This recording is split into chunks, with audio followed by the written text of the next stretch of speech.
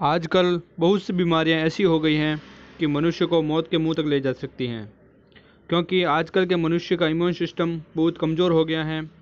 आजकल का life style और जो आपका खान पान है, वो आपके इम्यून सिस्टम को कमज़ोर कर रहा है। और शरीर से बाहर से घुसने वाले कीटाणु को आपका शरीर ख़त्म नहीं कर पाता है। परिणाम स्वरूप बैक्टीरिया आपके शरीर को अंदर से ख़त्म करने लगता है और इंसान की अंततः मौत हो जाती है। कुछ तो कीटाणु जनित बीमारियाँ ऐसी होती है कि उनको पहचान पाना भी मुश्किल होता है। आज के इस वीडियो में आपको ऐसी एक बीमारी टाइफाइड के बारे में बताने वाला हूँ। टाइफाइड क्या होता है ये कैसे फैलता है, इसके क्या लक्षण हैं, और अंत में बात करेंगे इसके क्या कुछ घरेलू उपाय हैं जिससे आप इसको ठीक कर सकते हैं। तो आप बने रहिए हमारे वीडियो के साथ और वीडियो को पूरा एंड तक देखिए। नमस्कार दोस्तों, मैं दिनेश सिंह राजपुरोहित। स्वागत करता हूँ आपका हमारे यूट्यूब के चैनल दिनेश हेल्थ में। दोस्तों, सबसे पहले बात करते हैं टाइफाइड क्या होता है। टाइफाइड एक तरह का बुखार होता है, जो आपके साल्मोनेला नामक एक बैक्टीरिया होता है, उसके कारण फैलता है। विश्व भर की अगर बात करें तो 20 से 21 मिलियन लोग इससे संक्रमित होते हैं, और लगभग इनमें से दो लाख लोगों की इससे मृत्यु हो जाती है। ये टाइफाइड आपके जो है, ये टाइफाइड जो कीटाणु होते हैं, आपके खाने से, या फिर अगर आप संक्रमित पानी पी लेते हैं तो उससे जो आपके शरीर के अंदर चला जाता है। और फिर आपके जो है ब्लड के माध्यम से पूरे शरीर में फैल जाता है। शुरुआत में इसके लक्षण आपको सामान्य बुखार जैसे ही लगते हैं तो आपको इतना पता नहीं चल पाता है, लेकिन अगर इसका आप समय पर इलाज नहीं करवाते हैं तो ये आपको मौत भी दे सकता है। अब बात करते हैं इसके कुछ लक्षणों के बारे में। सबसे पहले आपको बता दूँ कि इसके लक्षण एकदम से जो है आपको देखने को नहीं मिलते हैं। बैक्टीरिया के शरीर में जाने के चार से अठारह दिन के बाद जो है आपको इसके लक्षण देखने को मिलते हैं।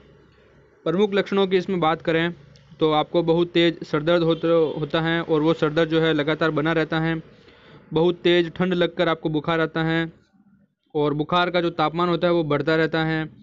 इसके अलावा आपको थकान होती है, आपको एनजाइटी होती है खाने पीने की इच्छा नहीं होती है और पूरे शरीर में बहुत ज़्यादा जो है तेज़ दर्द होता है। ये कुछ लक्षण हैं, इससे आप जो है टाइफाइड की पहचान कर सकते हैं। अब बात करते हैं टाइफाइड के कुछ मेजर कारणों की। किस कारण से टाइफाइड हो सकता है? तो सबसे पहला तो कारण है, आप जो है साफ़ सफ़ाई का ध्यान नहीं रखते हैं अगर।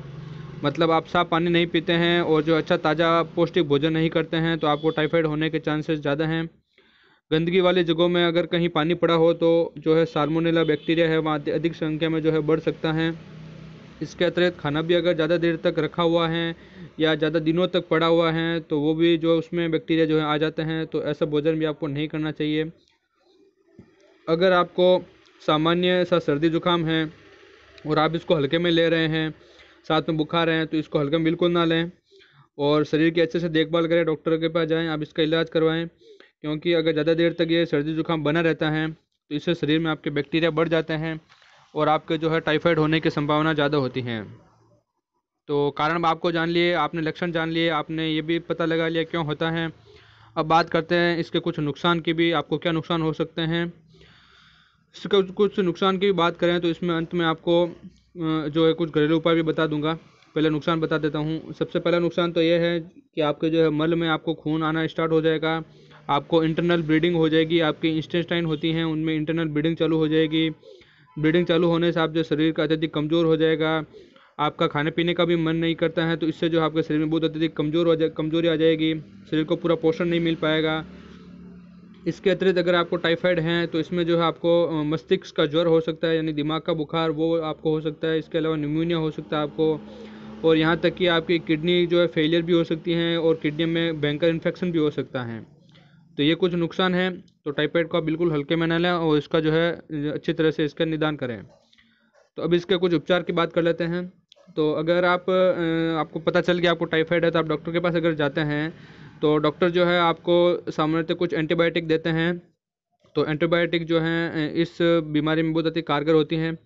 तो एंटीबायोटिक जो आप 10 से 15 दिन तक लेते हैं तो ये आपके बैक्टीरिया को अंदर जो है मार देती हैं और जिससे आप एकदम स्वस्थ हो जाते हैं। और इलाज इसका बिल्कुल संभव है। ऐसा नहीं है कि इसका इलाज नहीं है। इसका इलाज बिल्कुल आपको मिल जाएगा। एंटीबायोटिक से इसका इलाज हो जाता है। अब बात करें इसके कुछ घरेलू नुस्खों की तो आप जो है पुदीना और जो अदरक होती हैं, उनका जो है काढ़ा बना के पी सकते हैं। ये जो है आपके बैक्टीरिया को ख़त्म कर देता है ये इनका काढ़ा और आप जो है ज़्यादा से ज़्यादा मात्रा में पानी पिएँ और जूस लें, जिससे आपको जो है डिहाइड्रेशन नहीं होगा, शरीर में पानी की कमी नहीं होगी। इसके अलावा आप लहसुन जो होता है, लहसुन की एक कली को लें, उसको तवे पर रख के, उसमें थोड़ा घी डाल के उसको सेक लें, उसके ऊपर थोड़ा सा है काला नमक डाल लें और ये जो आप खा लें तो इससे जो है आपका टाइफाइड एकदम ठीक हो जाता है। तो दोस्तों, आशा करता हूँ आपको टाइफाइड के बारे में संपूर्ण जानकारी मिल गई होगी। कुछ भी रह गया हो या मुझे कुछ बताना भूल गया हूँ तो आप जो नीचे कमेंट कर दीजिए। मैं आपको जो है उसके रिलेटेड आपको इन्फॉर्मेशन दे दूँगा। और वीडियो को पसंद आए तो लाइक कर दीजिए और चैनल को ज़रूर सब्सक्राइब कर दीजिए। मिलते हैं दोस्तों अगले नई वीडियो में।